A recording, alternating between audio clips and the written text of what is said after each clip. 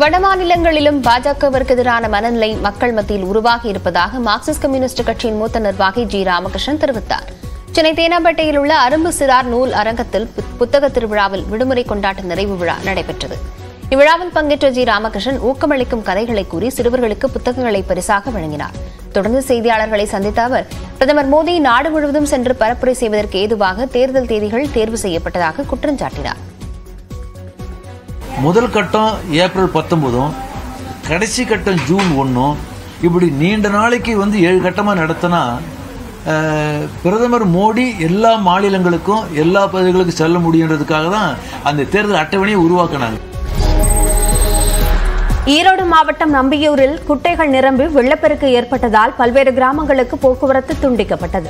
நம்பியூர் சுற்றுவட்டார பகுதிகளில் மூன்று மணி நேரத்திற்கும் மேலாக கனமழை பெய்தது.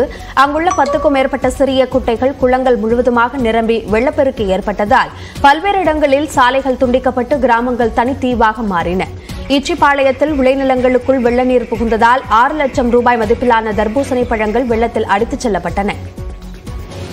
பூசணி போட்டிருந்த காட்டை சுற்றியுமே கம்பி வேலியெல்லாம் பிடுங்கி பள்ளத்தில் தண்ணி போகிற மாதிரி கிட்டத்தட்ட வந்து ஒரு ஒரு ஐம்பது அடி அறுபது அடி தூரத்துக்கு வந்து பூசணி காட்டவே பூரா நிறவி அடிச்சுட்டே போயிடுச்சு அப்புறம் கிணறு வந்து எங்கள் ஊரில் வந்து கிட்டத்தட்ட ஒரு ஏழு எட்டு பத்து கிணறு நிறவிட்டே போயிடுச்சு அவ்வளவு மழை.